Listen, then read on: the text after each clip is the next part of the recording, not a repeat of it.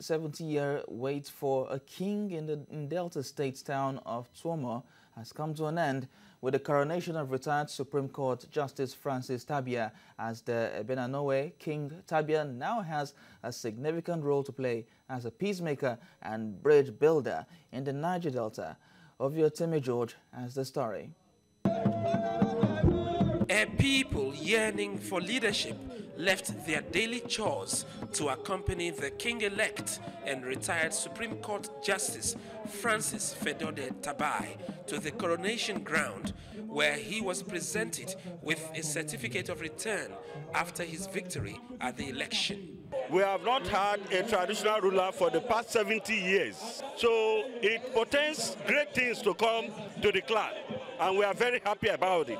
We feel that this coronation will further urge him to do more for the development of the Niger Delta. The people are very happy.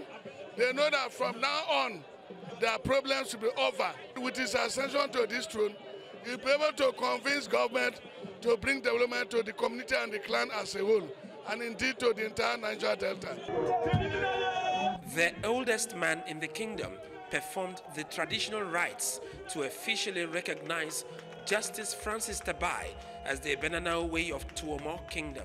For the fact that Justice Tabai is being crowned today, uh, certainly will bring peace to the entire domain because most people and indeed the entire clan they have so much confidence in this man. His emergence, his throne in his time is going to bring peace in Nigeria. It's going to bring peace in Niger Delta. It's going to bring peace to the Ijaw nation. We are happy that today we have one of our illustrious sons, who is a retired justice of the Supreme Court, as the king and peril of the Tuomo Kingdom.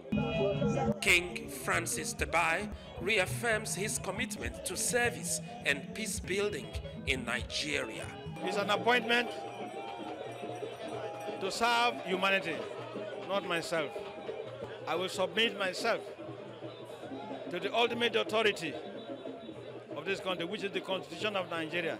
I will try my possible best to protect our oneness as a people, our unity as a people, founded on the very fact that we are a common ancestry.